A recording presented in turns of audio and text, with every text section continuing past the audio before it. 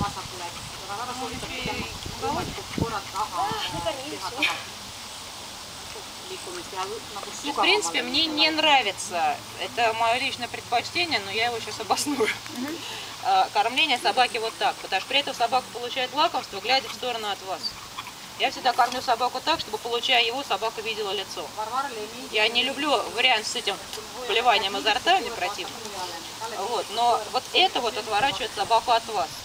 В, ну, во-первых, да, вы лишний раз собаке э, показываете, что на вас смотреть не надо, потому что когда она ест, на вас она не смотрит. Во-вторых, э, собака хорошо запоминает. Дополнительно мы закрепляем хорошую позицию со взглядом сюда, тем, что мы отсюда все-таки кормим. У собаки получается противоречие. Смотри сюда, чтобы поесть оттуда. Вот, поэтому на движении рядом и на и в статике.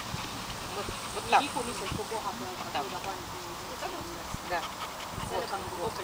sellele. Собака Только руку все равно не надо вперед сильно выводить, чтобы Вперед не- сильно не ска- надо, но не- сейчас собаку кормят на таком э, месте, которое уже провоцирует обучение отставания. Есть собака все-таки крупная. С очень крупной собакой иногда даже все равно приходится переходить на правую руку, что я категорически не люблю. Но если собака очень крупная, она, значит, какие-то, ну, и не, задир- не задирающая голову высоко, да? Крупную гибкую собаку, ее задираешь хорошо высоко, и она вот, она у тебя под рукой оказывается. Вот.